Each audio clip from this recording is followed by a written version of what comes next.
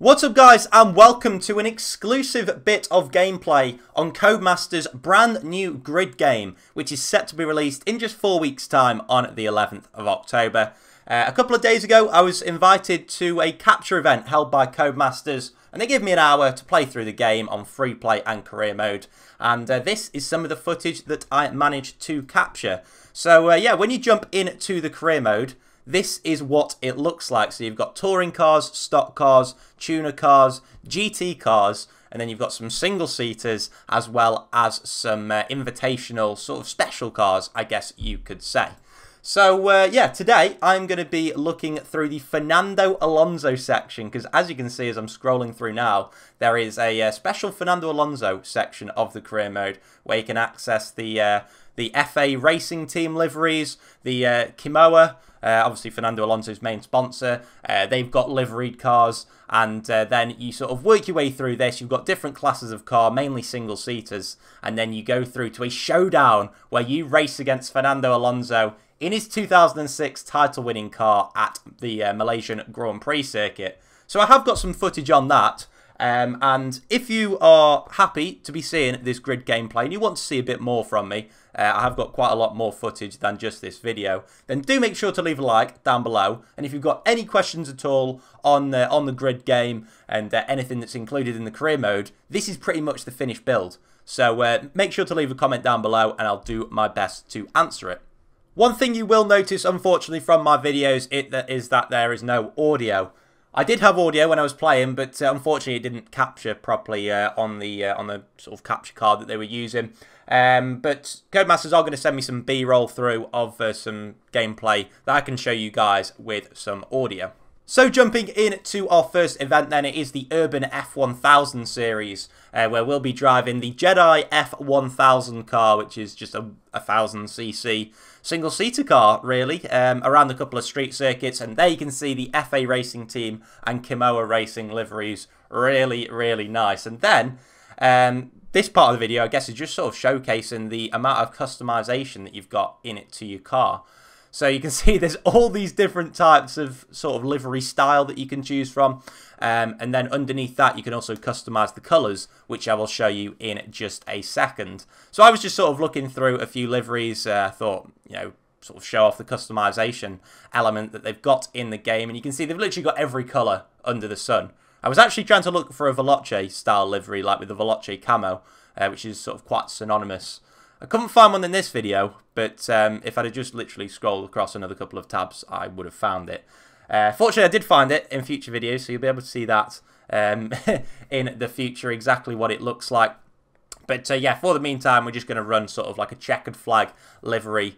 And it was just really nice, uh, really good addition from Codemasters, because obviously in past racing games, you, you're very much tied to what liveries you can use. And F1, also a Codemasters game, they've sort of jumped on the customization aspect of it with the new multiplayer car.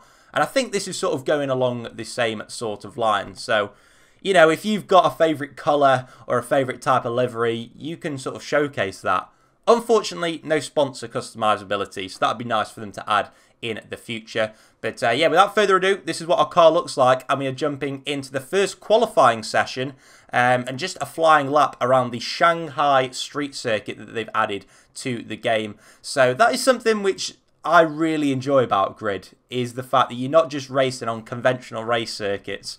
Um, you can sort of jump into these into these street events because grid really and it's it's very much apparent with this game from the sort of hour that I uh, I played on the game. It's not a particularly serious racer uh, racing game. It's more of a game where you can sort of jump on at a very sort of casual arcadey feel to it. Bearing in mind this was my first well second lap on the game I think. I think I did one qualifying lap before this. This is my sort of best attempt. So yeah uh, before this I'd done one lap on the game. I was playing with the controller I usually play with a wheel but it was really, really easy to just sort of pick up the controller and do a lap like that. I was running it on a hard AI, but I think I had max maximum assists on at this time. So you can see I went quite a bit faster uh, than the AI. And bearing in mind that was my first lap on the game. So it's very easy to sort of jump in if you're a racing veteran and, uh, you know, set quick time straight away. but you can sort of strip away the assists. So you've got ABS, traction control, and stability control, and it's like a sliding scale between 0 and 5. So obviously with this being my first lap on the game, I was running sort of maximum assists. I was on a controller as well, so that would have been disastrous without assists. But uh, as the hour went on, I started to sort of strip away the assists, and it really became a lot more difficult, even though I was on the same difficulty setting. Uh, so for this first race, I thought it's going to be pretty boring for me to just race away from pole. So uh, I dropped to the back of the field and uh, sort of, I think I turned the slide-in scale of um, assists down to three. So we were on pretty much half uh, ABS, traction control, and stability control. And uh, yeah, just sort of thought I'd see how I can uh, go through the field. Um, the AI, in terms of the AI, you can see they've got numbers above their heads. So each driver um, has got their own sort of skill level. So I believe the skill level goes from 1 or 10 up to 99. So uh, you'll see in future videos when I race Fernando Alonso, he's got a 99 above his head because he's obviously like the ultimate racer in the game. But uh, the drivers that you uh, race against to start with are of quite a low skill level and uh, they're sort of quite similar to the skill level of, uh, of yourself, of the player in the game. So uh, Leo Garnier is sort of 12 rated. So think of it as a little bit of like uh, like FIFA Ultimate Team, um, you know, or, or, FIFA Career Mode.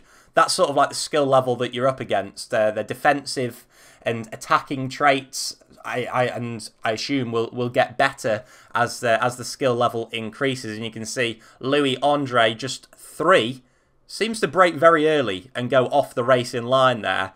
So yeah, pretty interesting to see exactly what the skill level of the drivers is like. Um, maybe sort of the higher level they get, the more they stick to the racing line, that sort of thing. But yeah, that's a really nice addition. Um, a little bit different from Autosport.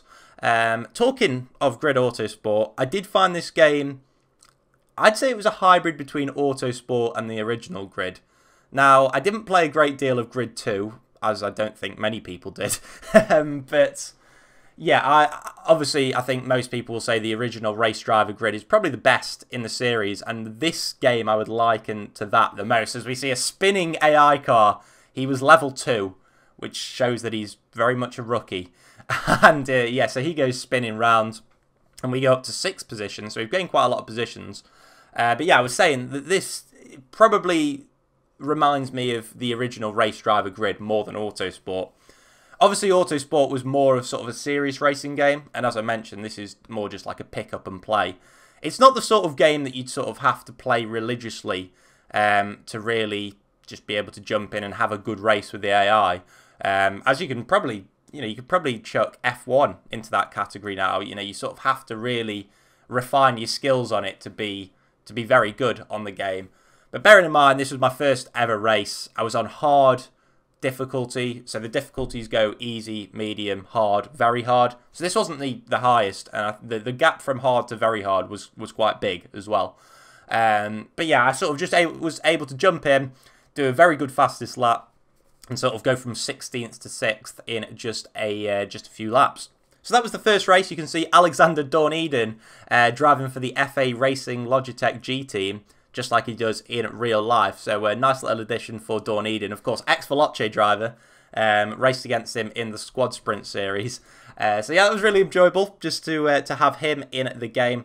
And uh, this is the screen that sort of comes up afterwards. You can see it says Nemesis bonus there. Um, so what it does, it sort of pits you against one of the um, one of the drivers in the uh, in the race, and they're sort of your nemesis. Um, as you go through like the racing series, if you say crash into them or sort of have continuous battles with them, uh, then that's who's sort of picked out as your nemesis. So I believe it was Nick Whittle was like a, I, I assume that's like the default chosen one on the game. But uh, yeah, if you have like good battles or like I say collisions with other drivers, then they'll sort of turn in to your nemesis.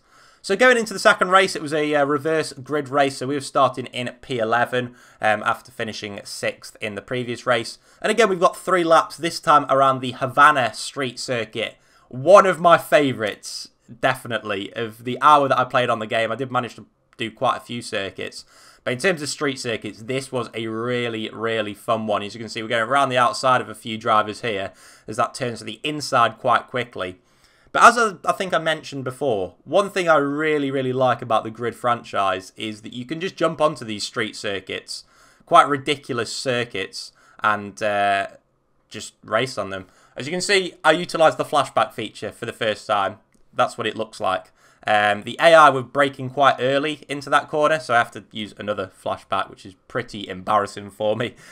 um, but yeah, apart from that, didn't really feel the need to uh, use any flashbacks, and you can turn them off if you're more of a hardcore racer.